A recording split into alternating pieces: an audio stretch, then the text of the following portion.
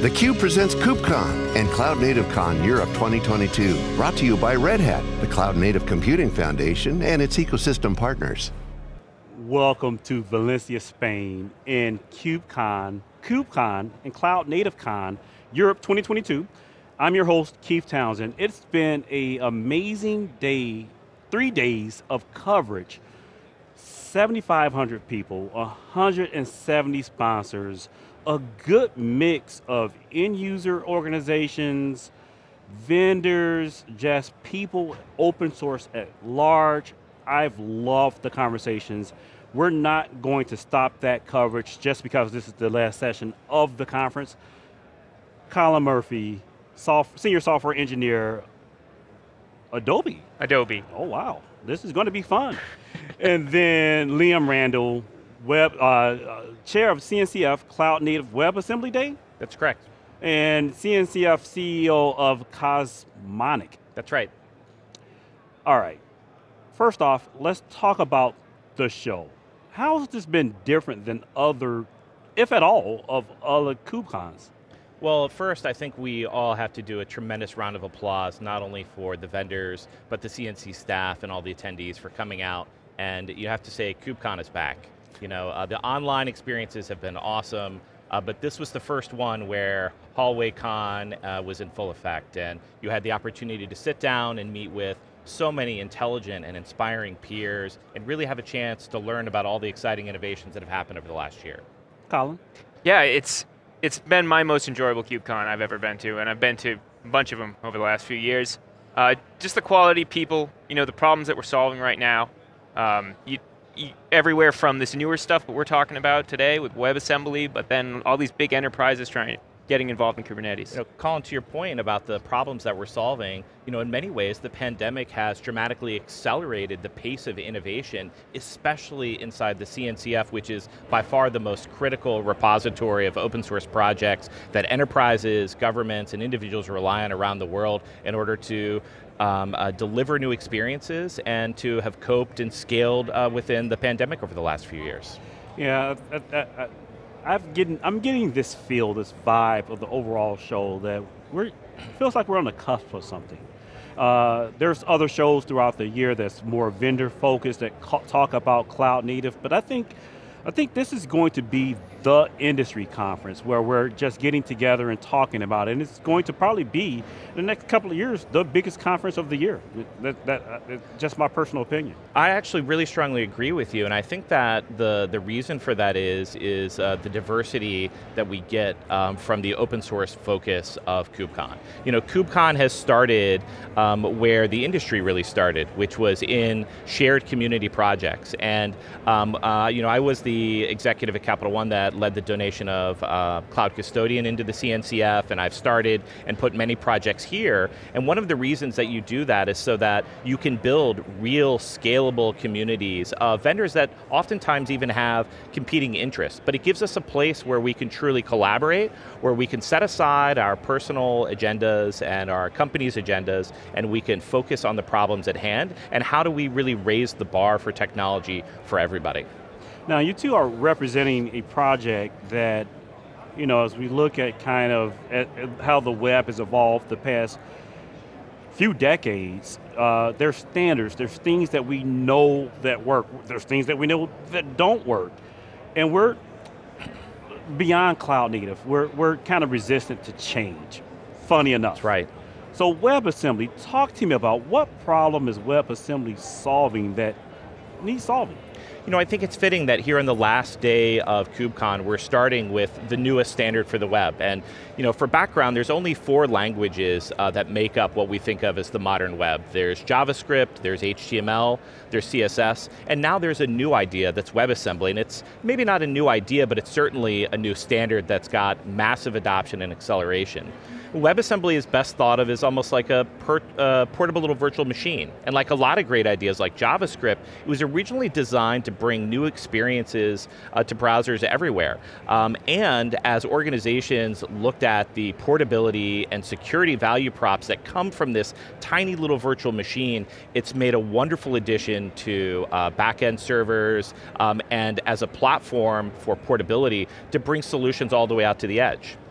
So, what are some of the business cases for WebAssembly? Like, what problem, what business problem are we solving? So, it, you know, we would not have been able to bring Photoshop to the web without WASM. Wow. And, and just to be clear, I had nothing to do with that effort, so I, I want to make sure everybody understands.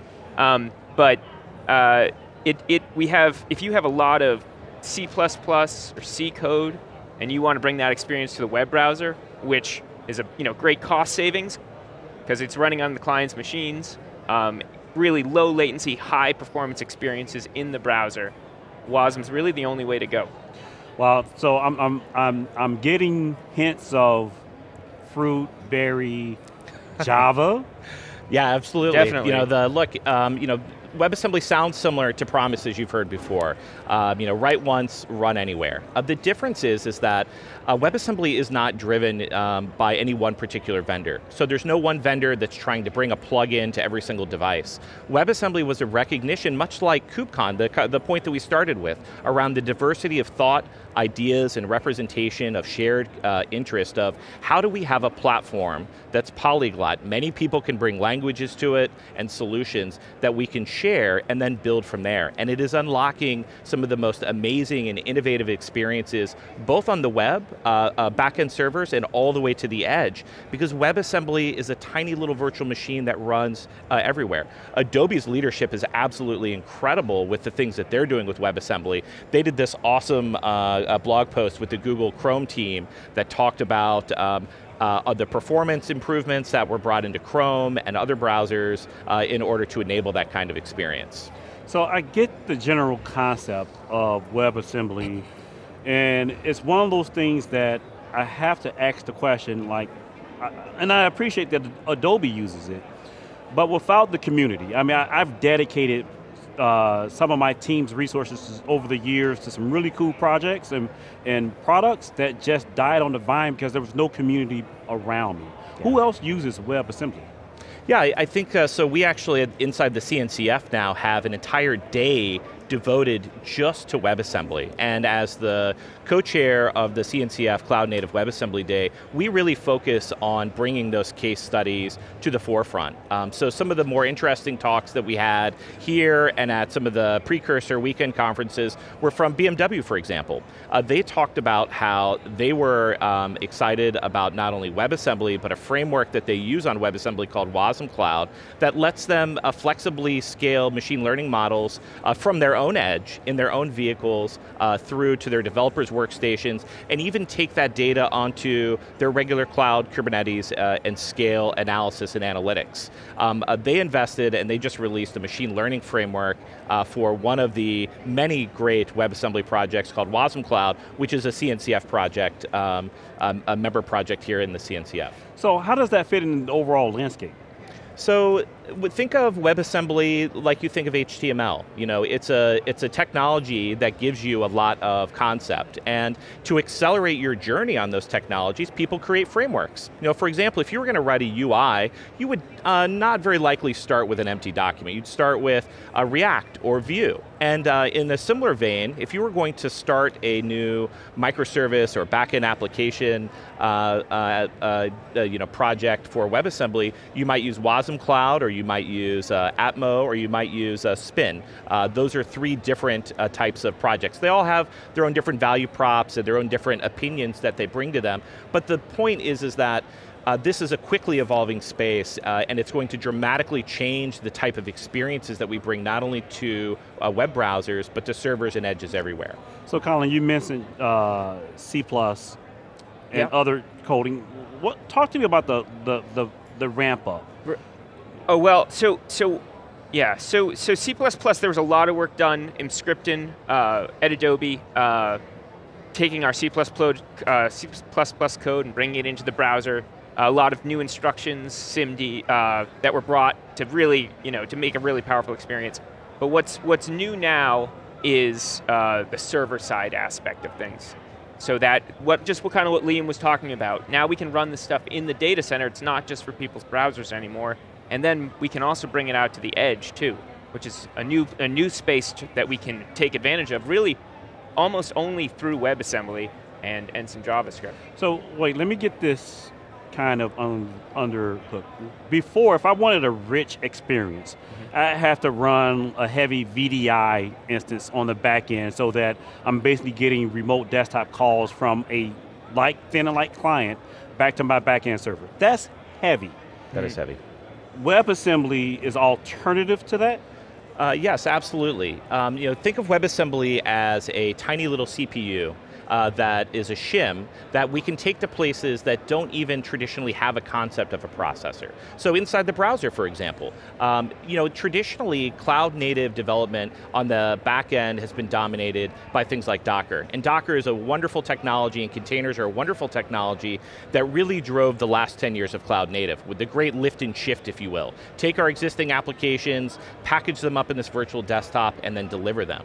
But to deliver the next 10 years of experiences, we need solutions that let us um, have portability uh, first and a security model that's portable across the entire landscape. So this isn't just browsers and servers on the back end. WebAssembly creates an, uh, a layer of equality uh, from tr truly edge to edge. It uh, can transcend different CPUs, different operating systems. So where containers have this lower bound of you need to be running Linux and you need to be in a place where you're going to bring Kubernetes, WebAssembly is so small and portable, it transcends that lower bound. It can go to places like iOS iOS, it can go to places like web browsers, it can even go to teeny tiny CPUs that don't even traditionally have uh, full-on operating systems inside them. Right, places where you can't run Docker. So as I think about that, and I'm, you know, a developer and I'm running my back end, and I'm running whatever web stack that I want, how does this work? Like, how do I get started with it? Well, there's some great stuff. Uh, Liam already mentioned with Wasm Cloud and Fermyon Spin. Uh, Microsoft is, is, is heavily involved now uh, on pro uh, providing cloud products uh, that can take advantage of WebAssembly. Um, dot, you know, so we've got a lot of languages, new languages coming in, .NET and Ruby. Rust is, the, is a big one, TinyGo. Um, really, just a lot of places to get involved, a lot of places to get started. Look, at the at the highest level, um, uh, Fintan Ryan, uh, when he was at Gartner, he's a you know really well-known analyst. He uh, wrote something profound a few years ago. Um, he said, WebAssembly is the one technology you don't need a strategy to adopt. Mm. Because frankly, you're already using it. Because there's so many wonderful experiences and products that are out there like what Adobe's doing. You know, this, a virtual CPU is not just a platform to run on cloud native and to build applications towards the edge, you can embed this virtual CPU inside of applications. So cases where you would want to allow your users to customize an application or to extend functionality. Uh, I'll give you an example. Shopify is a big uh, believer in WebAssembly because while their platform covers you know, two standard deviations or 80% of the use cases, they have a wonderful marketplace of, uh, of extensions that folks can use in order to customize the checkout process or apply specialized discounts accounts or integrate into a partner ecosystem.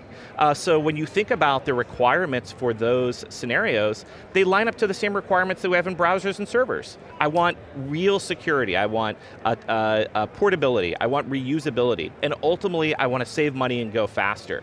So um, organizations everywhere should take a few minutes and do a heads up and think about, one, where WebAssembly is already in their environment, inside of places like Envoy and Istio, some of the most popular projects in the cloud native ecosystem outside of Kubernetes. And they should perhaps consider um, uh, studying how WebAssembly can help them to transform the experiences that they're delivering for their customers. This may be the last day of KubeCon, but this is certainly not the last time we're going to be talking about WebAssembly, I'll tell you that. So, last question, we've talked a lot about how to get started. How about day two? When I'm thinking about performance, troubleshooting, ensuring clients have a great experience, what's day two operation like?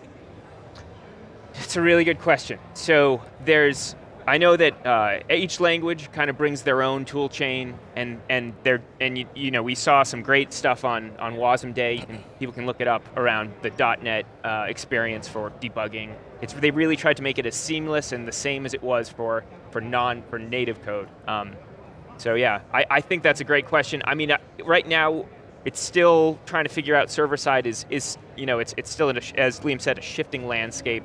Um, But we've got some, you know, some great stuff out here already. You know, I'd make an even bigger call than that. When I think about the last 20 uh, years as computing has evolved, we've uh, continued to move through these epics of tech that were dominated by um, uh, a key abstraction. Think about the rise of virtualization with VMware and the transition to the cloud. The rise of containerization where we virtualized OS. The rise of Kubernetes and CNCF itself where we virtualize cloud APIs. I firmly believe that WebAssembly represents the next epic of tech. So I think that day two, WebAssembly continues to become one of the dominant themes, not only across cloud native, but across the entire technical computing landscape. And it represents a fundamentally gigantic opportunity for organizations such as Adobe, that are always market leading and at the cutting edge of tech, to bring new experiences to their customers, and for vendors to bring new platforms and tools to companies that want to execute on that opportunity. Colin Murphy, Liam Randall, I want to thank you for joining theCUBE at KubeCon, Cloud Native Con 2022. I now have a JavaScript-based app that I want to look at, relook at, and maybe replatforming that to WebAssembly. It's some, a lot of good stuff there. We want to thank you for tuning in to our coverage of Cube, KubeCon, Cloud Native